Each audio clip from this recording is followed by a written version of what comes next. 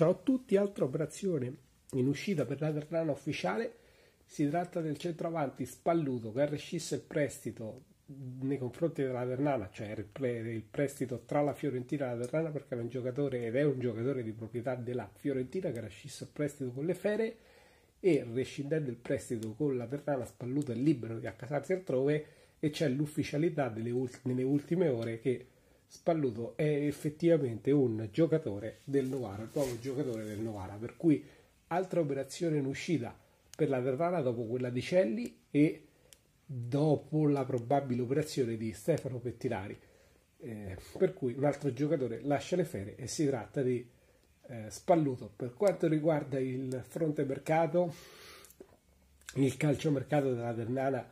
è un po' vincolato per via di posti over molto limitati, cioè la lista over è piena sostanzialmente, la lista under no perché sono illimitati, ma la lista over è piena,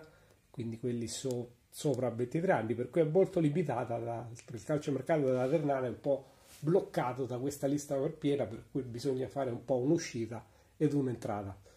E staremo a vedere, per cui ci sono già diciamo delle probabili trattative, cioè se lascia Pettinari arriva l'attaccante Esposito e se lascia Bruno Martella arriva Donnarumma del eh, Cittadella, il terzino del Cittadella, per cui vedremo eh, se si cedono questi due giocatori, per cui vedremo cosa succederà. Nel frattempo però c'è già la prima partita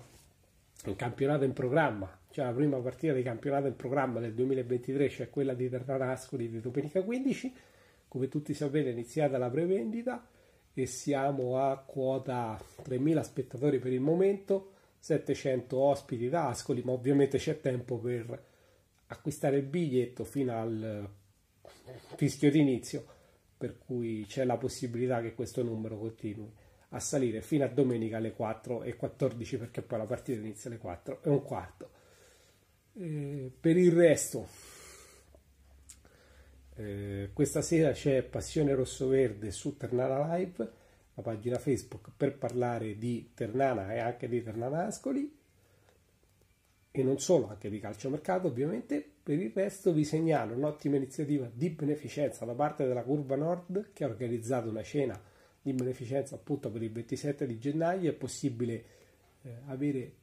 le, tutte le informazioni del caso sulla loro pagina Facebook e eh, in troverete la, la località dove si svolgerà la cena, il prezzo e poi come effettuare la vostra prenotazione. Per il resto non ci resta altro che aspettare Nascoli, ricordandoci che Spalluto è un nuovo giocatore del Novara e quindi lascia le ferie.